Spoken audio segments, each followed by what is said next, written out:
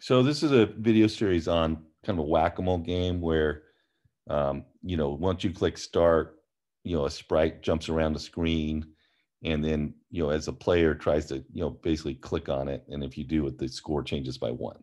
Okay, so I just got one point, and now I got two from from clicking on it. Okay, now I want to get you know a little more of the details and talk about, you know, kind of, you know, more, uh, you know, more precise. Um, you know placement of images because um, we were pretty loose in our code before.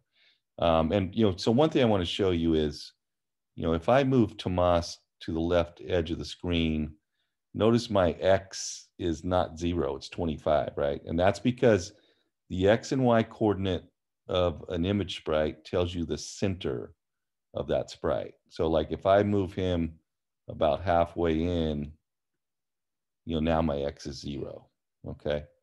So just one one kind of key thing to understand is the X and Y refer to the location of the center of the sprite, you know, relative to the canvas. And you you kind of notice the same thing if we go to the top. Um, you know, I need to be right about halfway in, a little bit higher, sorry. And it's hard to get exactly there's y is three, so I need to go a little higher. Negative two, sorry. There's y is one. I don't know if I can get exactly y is zero. Nah, anyway, you get my idea. If if he was exactly halfway up, you know, so half is the image is below and, and half you can't see, y would be zero. And I, in fact, I could just go down here and set that and, and that's where it is. Okay, so so the x and y coordinates are the center of the sprite, and that's that's what one thing you want to know.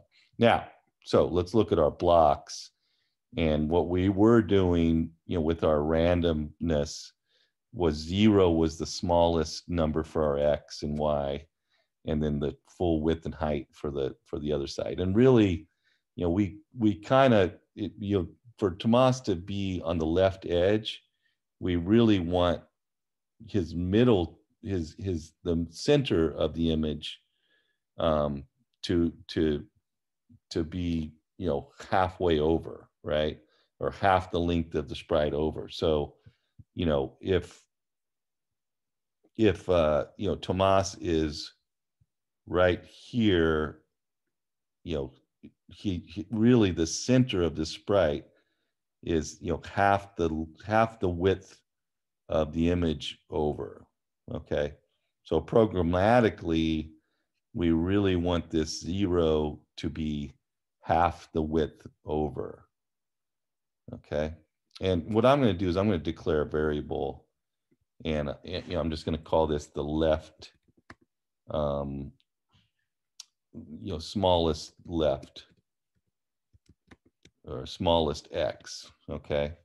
And I'm just going to set it to zero to start, but what I'm going to do is compute that.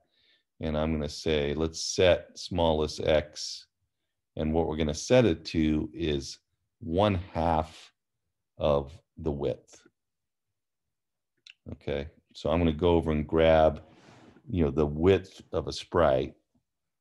Um, so let's see. I can just, I think I can grab this guy. No, that's, I can't grab visible. But I just want to get one of the sprites properties.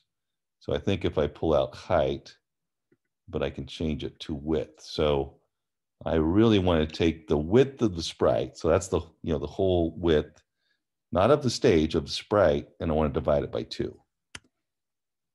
Okay. And that way the smallest X, you know, really, I don't want the smallest X to be zero. I want it to be half of the width of the sprite.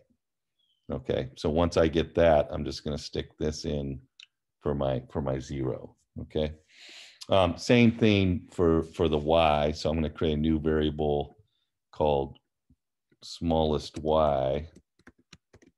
Okay, um, just to initialize it, I'll stick a zero in there, but I'm going to compute it, and I'm going to say set my smallest y and it's pretty close to this guy. I'm just going to copy Command C, Command V, but I really want it to be the height divided by two, okay? And that's the, the smallest y I should should get. And so I can change this guy to smallest y. Okay, this width and height is not exactly right either. And let me just kind of give you an idea why. If I go back over here, if I want him to show up right here, you know, his center is is not on the on the right edge, right? The center of this image is half half away from that. Okay. Um, so if I go back to my blocks, you know, what is going to be um, my largest x? Okay, so I'm going to create a new variable for largest x. And what it's going to be is the width of the whole stage, you know, like I have here, but then I'm going to subtract half of the width of the sprite. Okay, so I'm going to grab a subtract. And what I want is this width, the stage's width. Um, but then I'm going to subtract um, half of the, oh, wait, sorry. I just need to, I can't do these formulas uh, when I, when I, um, when I, when you initialize a variable, you just have to initialize it to some number. And then when you're actually coding, you can code it. And now I'm going to say I want to change my largest X. And my largest X is going to get set to the width of the stage. And then what I want to put here is one half of the sprite's width. Okay, so I can just grab this block. Okay, so the, the biggest X should be is I don't really want to go all the way the width because really half of the sprite would be off off the screen. Um, but instead, I'm going to subtract just uh, half of the the sprite's width. Okay, and then you know almost the same thing as my largest y, and I'll just call this largest y. Initialize it to zero. And then I'm just going to copy Command C, Command V, but I'm going to change this to largest Y. Now I care about the height of my stage and the height of my width divided by two. All right, I'm going to just test this. I want to make sure it works.